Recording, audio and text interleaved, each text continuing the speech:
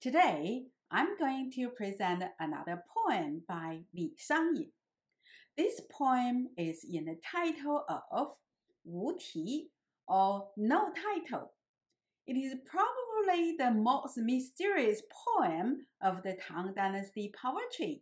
Many scholars have been debating about what the poem is about for over a thousand years. Although the poem was labeled as no title by Li Shangyin, to distinguish this poem from all the other poems labeled as no title, this poem is often referred as Jin She, or the decorated zither, because the poem starts with these two characters. So I'm going to follow the tradition referring this poem as Jin She or the decorated zither. As shown in many of my videos, most scholar officials gave their poems titles that clearly expressed the intention of their poems. Some of them even added an introduction to explain when and under what circumstances a poem was composed and what kind of feelings he or she intended to express so that people would not misread or misinterpret their poems. But not Li Shangyin, not in this poem. I have talked about the possible reasons in my first video why Li Shangyin labeled one of his poems as Wu Ti or no title. Here's the link to my video if you would like to check it out. But for this poem, no one really know what Li Shangyin intended to express. He used seemingly unrelated imageries, legends, historical or mythical figures in one poem, making it almost impossible for people to guess what is it that he expressed in this poem.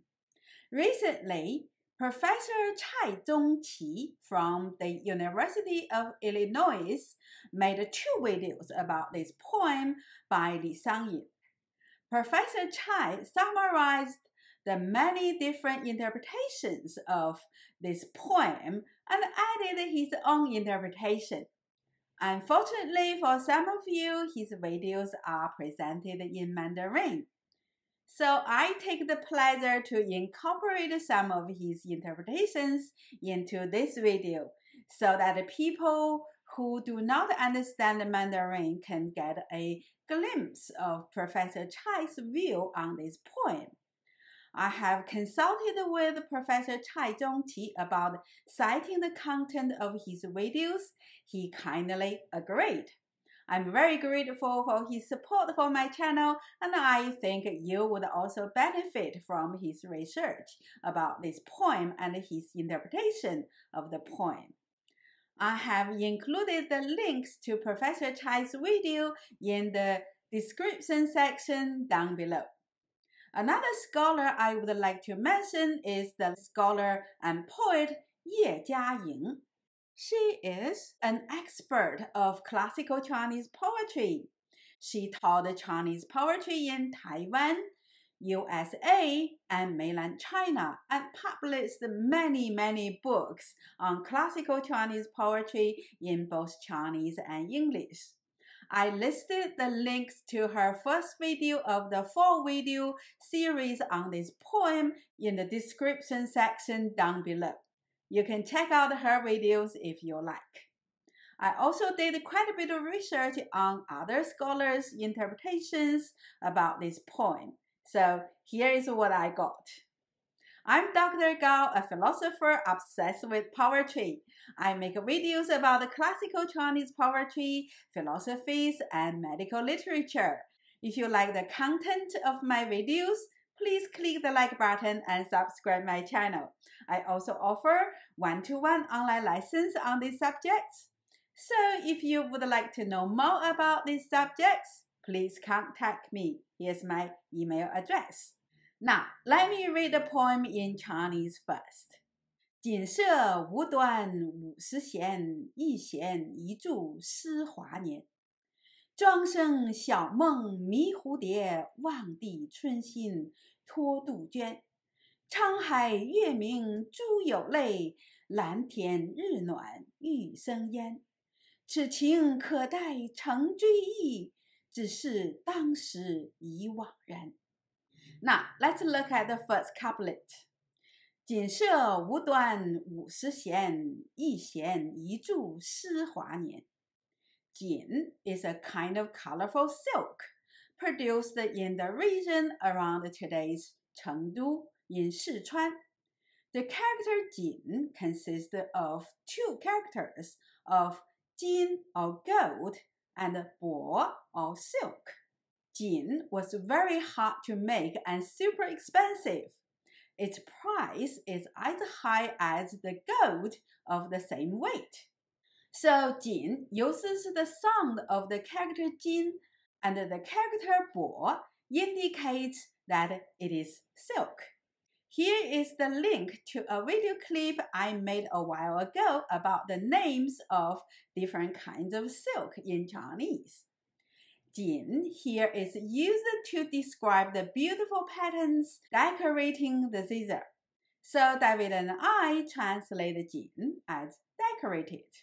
Se is a musical instrument lost for many years in China until 1973. One such instrument was unearthed from a Western Han Dynasty tube. Here is the picture of this instrument, currently on exhibition at the Hunan Museum. Wu means no.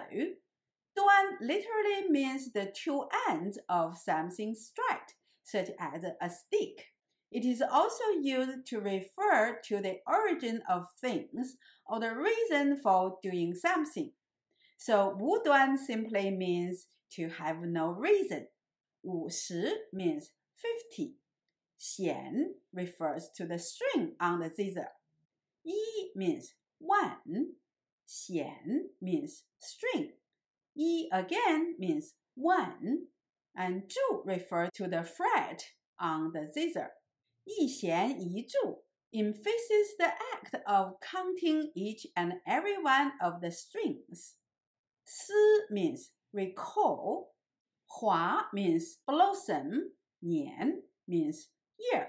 Hua Nian refers to the useful years of one's life. So the two lines can be translated as the decorated zither has 50 strings for no reason. One by one, the string and thread recall my blossoming years. 庄生晓梦迷蝴蝶，望帝春心托杜鹃。Zhuang Sheng refers to the Taoist philosopher Zhuang Zi. Xiao means young, Meng means dream, Mi means confused, 蝴蝶 refers to butterfly. This line allures to the story told by Zhuangzi in the book named after him. The story goes something like this. One day, Zhuangzi was having a nap during the day and dreamed that he was a butterfly flying around happily. Soon he woke up but was a bit confused. The dream was so real and vivid, making him wondering was it him dreaming that he turned into a butterfly, or was it now that the butterfly was dreaming it turning into Zhuangzi? Wang is an abbreviation of Xi Wang, meaning hope. Di is often translated as emperor but this connotation only started by the Qin dynasty when the first emperor put the characters of Huang and Di together to create a new term, which was later simplified as Di, meaning emperor. All the kings from the Shang dynasty were referred as Di after they passed away, but were referred as Wang or king while alive. Since Wang Di was way earlier than the first emperor, so we translate Di as king. Wang Di was the king of an ancient kingdom, Shu, located in today's Sichuan province. He was a kind and capable king. A fugitive named Bieling, or turtle spirit from a neighboring kingdom, Jing, arrived and was able to help to control and manage the flooding problem at the Shu kingdom. King Hope was very impressed and abdicated his crown to Bieling. Wang Di then retreated to the mountain and became a hermit. However, after Bieling became the king, he started abusing power for self indulgence and inflicted huge suffering on the people. Wang Di regretted his decision. After he died, he turned into a cuckoo, calling 不如归去, or I would rather go back. Of course, this is just one version of the story. There are many other different versions. But I won't have time to tell all of them. Professor Ye Jiaying told a different version of the story. You can check out her version if you like. Chun means spring, Xin means hot.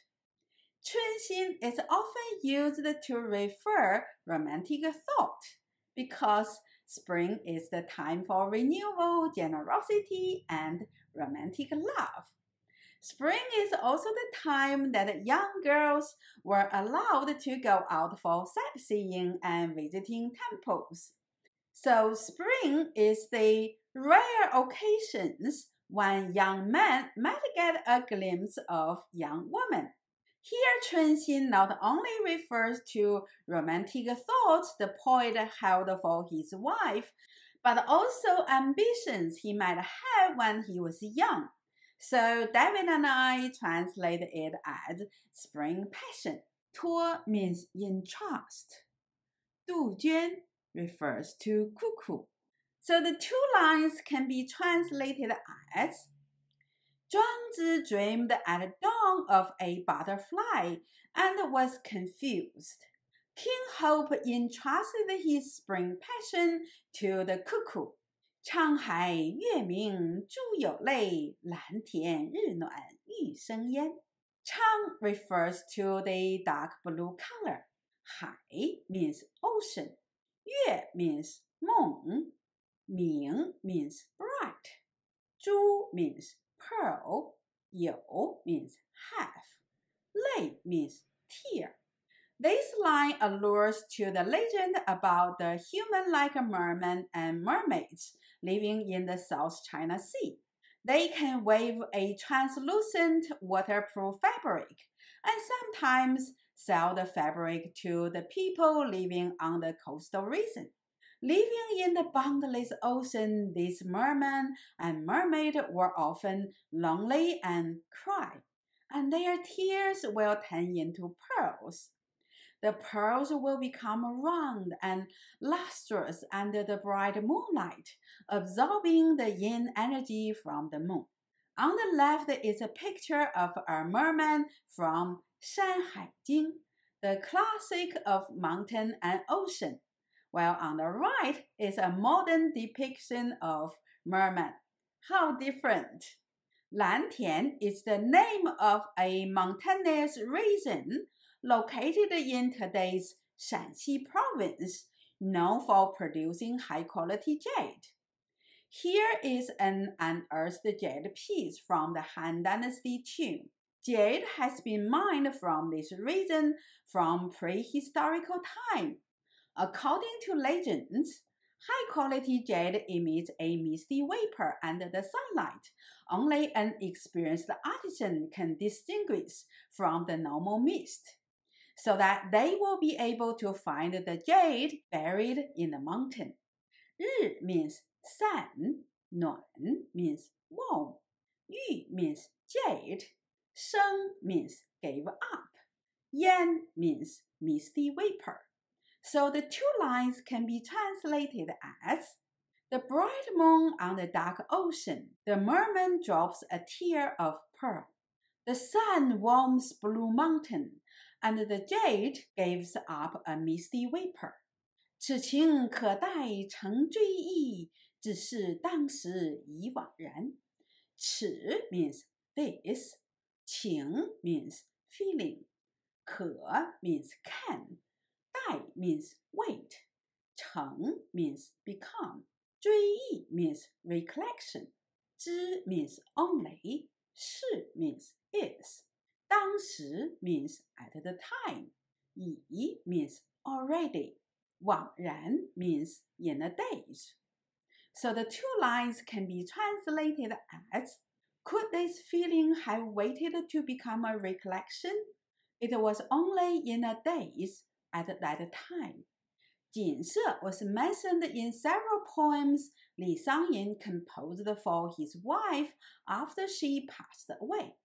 Apparently, she was very good at playing this instrument. The zither had a special meaning for Li Shangyin and his wife. So every string and every fret of the zither reminded him the happy times they spent together.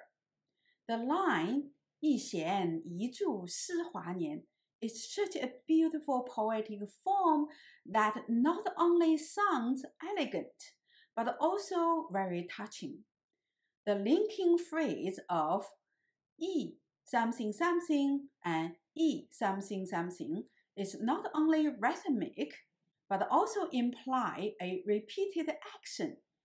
I can imagine that Li Shangyin was caressing the strings of the zither one by one while recalling the happy days with his late wife for the hundredth time. How deep was his love for her, and yet how heartbreaking was this scenario. The second and the third couplet first side draws the story of the butterfly dream, then the mythical story of King Hope, the myth of merman and mermaid, and the mystery of Jed at Blue Mountain. The poem concludes with a rather peculiar couplet, stating that he was confused as he was in the days years ago. The dream-like happiness he had with his wife, the the hope and ambition, the lonely nights and the moonlight and the wonders he witnessed over the years these are all flashing through his mind, carrying him like a torrent stream. No one during the Tang Dynasty write poems like this. No wonder scholars have been debating what this poem is about for more than a thousand years. Professor Cai Zongqi argues that this poetic style created by Li Shangyin is a groundbreaking innovation in the classical Chinese poetic tradition. He believes that Li Shangyin was using a technique most people think was invented during the 20th century called stream of consciousness. Professor Cai claims that in this poem, there is no theme that holds the poem together. There are only streams of fragmented imageries, fleeting sensations and emotions, and nothing makes sense on its own, yet these imageries and feelings are neatly integrated in an elegant poetic form. He also claims what we thought a new poetic style called Menglong Shi or Misty Poetry emerged during the 1980s and 90s in mainland China was not completely new. Li Shangyin had invented this poetic style more than a thousand years ago Rather than focusing on the real scenarios and strong tangible feelings such as Li Bai and Du Fu, Li Shangyin was expressing feelings and sensations and emotions beyond the words. So the poems of this style often read like a floating mist. Although it is certainly out there, but one cannot grasp its real meaning. This is how this style of poetry gets its name as misty poetry or 朦胧诗. I totally agree with Professor Cai Zongqi. I'm not an expert on the structures and forms of poetry, of classical Chinese poetry. Professor Cai is. If you can understand the Mandarin, I highly recommend you watching the two videos presented by Professor Cai Zongqi. His interpretation and analysis of this poem are amazingly insightful. They can help you to really appreciate the beauty of classical Chinese poetry. I'm Dr. Gao, a philosopher obsessed with poetry. I make videos about the classical Chinese poetry, philosophies, and medical literature. If you like the content of my videos, please click on the like button and subscribe my channel. I also offer one-to-one -one online lessons on these subjects. If you'd like to know more about these subjects, please contact me. Here's my email address. Thanks for watching my video. I'll see you next time.